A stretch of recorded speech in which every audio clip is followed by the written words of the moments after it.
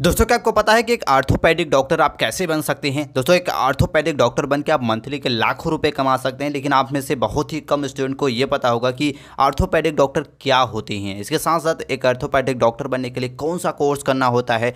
Course में admission कैसे मिलता है? कोर्स की फ़ीस क्या होती है? इसके साथ साथ आर्थोपैडिक डॉक्टर बनने के बाद हमें सैली कितनी मिलती है? यानी कि सारी जानकारी इस वीडियो में देने वाले हैं। अगर आप भी जानना चाहते हैं कि आर्थोपैडिक डॉक्टर कैसे बने तो वीडियो को अंत तक ज़रूर देखें।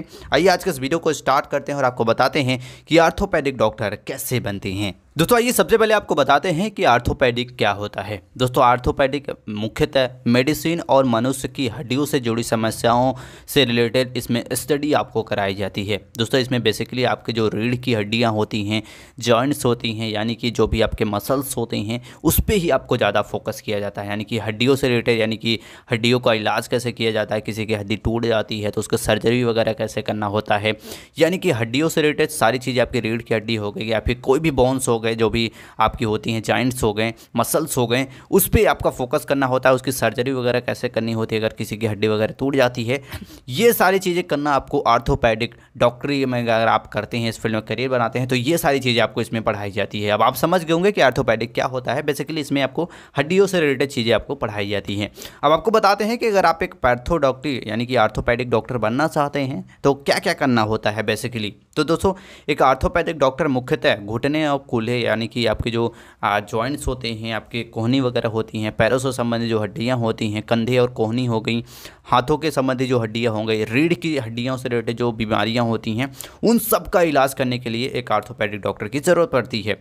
अब आपको बताते हैं कि आर्थोपैडिक आपकी जो प्रैक्टिस होती है, उसमें कितने प्रकार होते हैं। जैसे कि इसमें आपको हैंड एंड ऑपरेट इक्विपमेंट आपको दिए जाते हैं फुट एंड एंकल इसके बाद जो भी स्क्रीन पर आप देख पा रहे होंगे, ये सारे आपको टाइप्स होते हैं जो आपको पढ़ने होते हैं, ये सारे ब्रांचेस होती हैं जिसमें आप मास्टर बन आप उसका इलाज कर सकते हैं। दोस्तों अब आपको बताते हैं कि आर्थोपैडिक डॉक्टर कैसे बनते हैं और कौन सी स्किल्स आपके अंदर होनी अनिवार्य है। दोस्तों एक आर्थोपैडिक डॉक्टर बनने के लिए कम्युनिकेशन स्किल्स यानी कि बात की चलने का इसके आ, इसके अलावा आपको इमोशनल इंटेलिजेंस आप होने चाहिए प्रॉब्लम सॉल्व स्किल्स होनी चाहिए इसके बाद अटेंटिव टू डिटेल स्किल्स इसके बाद आपको डिज़ाइनिंग मेकिंग स्किल्स तो ये कुछ स्किल्स होनी चाहिए जो आप एक आर्थोपैडिक डॉक्टर बनने के लिए काफ़ी ज़्यादा डिमांडिंग होती है।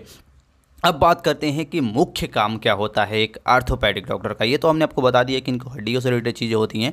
इसके साथ साथ खेल संबंधित जो चोट लग जाती है उसका इलाज करने के लिए, इसके बाद स्पाइन स्टोनिस, इसके बाद टूटी हुई डिस्क के लिए उपचार, रीढ़ की हड्डियों में अगर दर्द आपका रहता है तो उसका भी इलाज कर सकते हैं ये डॉक्टर। इसके साथ साथ हड्डियों में ट्यूमर हो गया तो उसका इलाज करते हैं।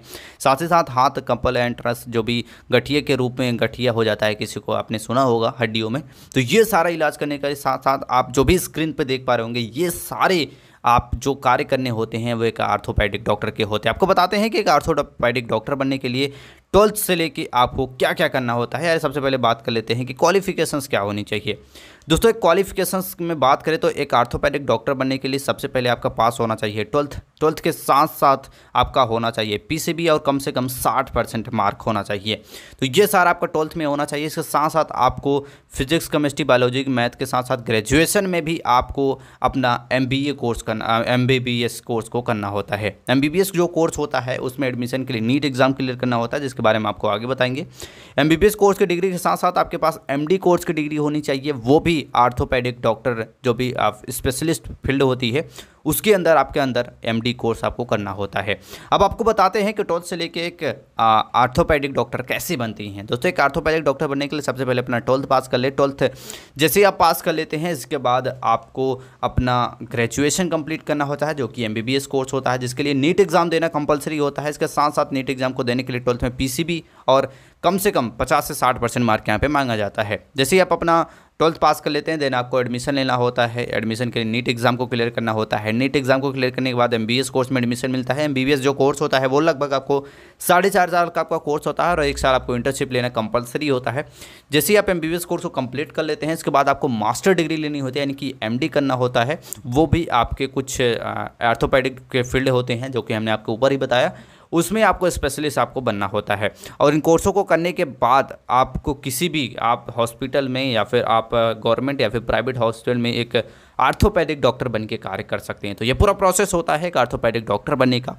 अब आपको बताते हैं कि आर्थोपैडिक डॉक्टर बनने के बाद आपको कितनी सैलरी वगैरह यहाँ पे मिलती है। दोस्तों ऑर्थोपेडिक कोर्स करने के बाद कई सारे जॉब आप पा सकते हैं, जैसे कि थेरेपिस्ट बन सकते हैं, जिनकी सैलरी लगभग चार से छः लाख रुपए स्टार्टिंग होती है। सर्जन बन सकते हैं, आर्थोपैडिक्स बन सकते हैं, जिनकी सैलरी लगभग नौ से अठारह लाख रुपये होती है।